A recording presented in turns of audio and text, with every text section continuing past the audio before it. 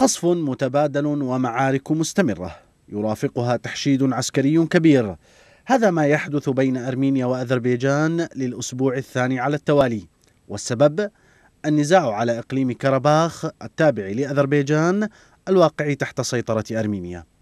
معارك طاحنة راح ضحيتها أكثر من 300 شخص بينهم مدنيون وتسببت بخسائر مادية كبيرة وفقا لتقارير صحفية من البلدين. فيما لا يبدو بأن طرفا القتال ينويان وقف التصعيد ولو على المدى المنظور.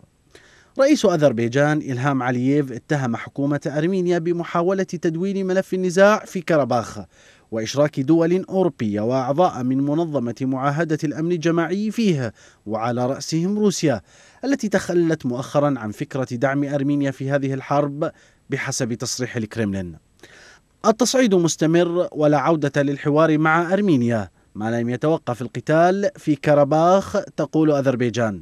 وكذا الحال بالنسبة لحكومة ريفان التي وصف رئيس وزرائها نيكول باشينيان.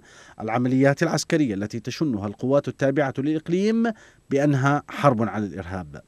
إصرار الطرفين على تسوية النزاع عسكريا لم يمنعهما من الإقرار بأن القضية قد تتفاقم وتتحول إلى حرب إقليمية أو دولية تتدخل فيها أطراف فاعلة لفض الاشتباك الجاري بين البلدين.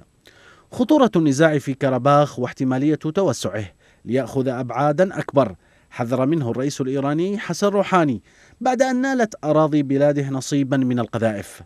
ورغم احتدام المعارك في الإقليم إلا أن الحكومتين الأذرية ونظيرتها الأرمينية لم تستبعدا التوصل إلى حلول وسطى من أجل إنهاء النزاع المسلح.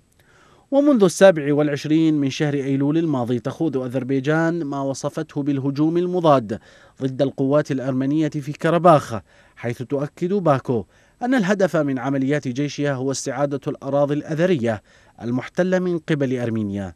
بينما تتهم الأخيرة أذربيجان بالعدوان على الإقليم الذي تدعمه يريفان دون أن تعترف به رسمياً.